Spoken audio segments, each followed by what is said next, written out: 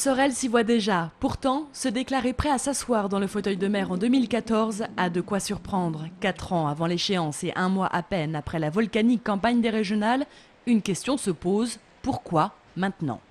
À partir de septembre, euh, nous allons attaquer une autre phase de la vie politique puisque nous allons entrer dans la phase de préparation des cantonales.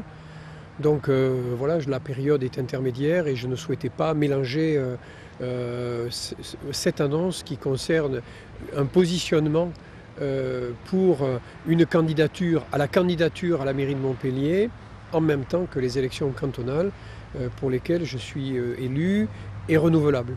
Une annonce qui vient miner encore une fois le terrain d'Hélène Mandrou, assommée par des ambitions politiques dévorantes de sa majorité. Je vais vous dire d'abord, quand on me l'a dit, je ne l'ai pas cru. J'ai même regardé si on n'était pas le 1er avril, c'est pour vous dire. Non, ça me. Écoutez, je pense qu'il a, il a le droit de dire euh, ce qu'il a, il a dit, ce qu'il avait envie de dire, et puis c'est tout. Et rival direct de Sorel, Patrick Vignal sort sa carte de la morale. Aujourd'hui, les politiques regardent leur nombril, regardent leur carrière et leur intérêt personnel. Philippe Sorel inquiète. En intégrant le PS en 95, il pense faire un bon placement. Mais il n'a jamais eu l'entière confiance de Georges Frêche. L'élève pourrait-il dépasser le maître? Sa méthode électoraliste en tout cas s'en inspire, comme lui par le passé.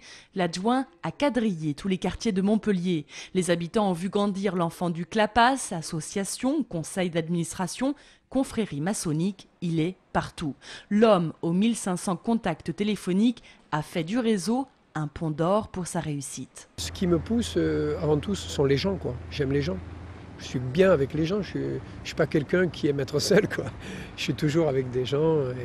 Et je les côtoie et j'ai plaisir à être avec eux. C'est sûr, dans les mois qui viennent, les critiques vont pleuvoir sur l'élu et feront sortir de l'ombre ses détracteurs. Qu'importe, à partir d'aujourd'hui, l'idée de donner les clés de la ville à Philippe Sorel a 4 ans pour faire son chemin dans la tête des Montpelliérains.